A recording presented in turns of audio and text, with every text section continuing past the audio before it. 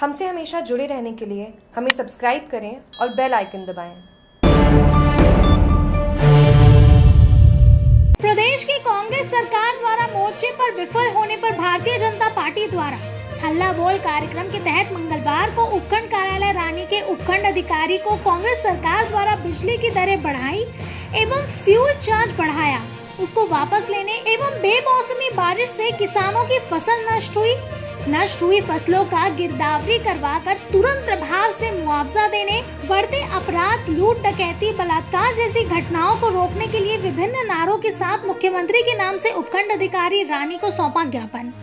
माफ़ करो माफ़ करो, बिजली के बिल माफ़ करो। बेमौसमी बारिश के कारण किसानों की फ़सल नष्ट हुई। इन किसानों को मुआवजा दो मुआवजा दो। इस अवसर पर भाजपा किसान मोर्चा के जिला अध्यक्ष खीमा राम चौधरी, भाजपा रानी शहर मंडल अध्यक्ष जयंती लाल वैष्णव,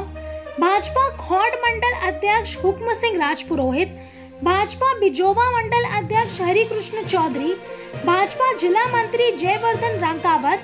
भाजपा वरिष्ठ नेता फतेह सिंह कुंपावत, भाजपा रानी शहर मंडल महामंत्री डालचंद चौहान, भरत जी नगर भाजपा बिजोवा, मंडल महामंत्री उत्तम सिंह पुनाडिया मोहन लाल जी इंदरवाड़ा, भाजपा खौड मंडल महामंत्री लता मेघवाल धन्नाराम चौधरी, नारायण सिंह बालराय पूर्व रानी नगर पालिका अध्यक्ष रमेश आर जैन, हेमराज जैन, घीसूलाल चौधरी व भाजपा के वरिष्ठ कार्यकर्ता जयसिंह सिसोदिया दयाराम चौधरी, ललित सोनी, बाबूलाल भाट, हरीश सोनी, हरीश गहलोत, एससी मोर्चा के प्रदेश कार्यकारिणी सदस्य नारायण मेंशन, गोपीचंद माली, सुकून खारवाल आदि भाजपा कार्यकर्ता मौजूद रहे। जागरूक टीवी के लिए रानी से खास रिपोर्ट।